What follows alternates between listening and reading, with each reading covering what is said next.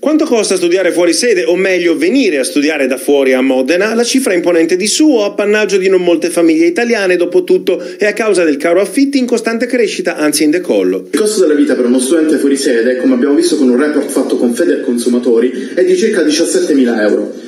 Ma se andiamo poi nel locale, sempre seguendo un report di Federconsumatori e CGL, abbiamo visto come il prezzo di una stanza sia, eh, si sia alzato vertiginosamente, arrivando a circa 500-600 euro al mese, per stanze poi che sono piccole, quindi circa 9 metri quadri, e quindi non con tutti i servizi necessari per la vita di uno studente. I picchi massimi segnalati sono di 700 euro. In 9 metri quadri come si fa a studiare con la necessaria privacy, soprattutto se l'appartamento dormitorio in cui si risiede è sovraffollato, magari con un solo bagno. Per chi si occupa di tutelare gli studenti gli errori sono di ogni tipo e non solo legati al desiderio di lucro da parte dei privati, ma anche dalla strategia del governo che ha veicolato le cruciali risorse del PNRR nella direzione sbagliata. Un altro tema è che eh, l'ingresso del privato all'interno dei fondi PNRR sia stato un grandissimo errore perché questo ha aperto appunto alla speculazione del privato all'interno di, quel, di quello che è il tema degli affitti per studentesse e per studenti.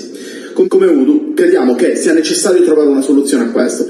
E la soluzione, spiega Udu, non sono solamente gli studentati, due dei quali in costruzione a Modena, l'intervento pubblico diretto aiuta, certo, ma senza il coinvolgimento di tutte le forze in campo non sarà sufficiente. Che il comune, che l'università dialoghino con il privato sociale per arrivare al superamento di quelli che sono i problemi del canone concordato attualmente presente.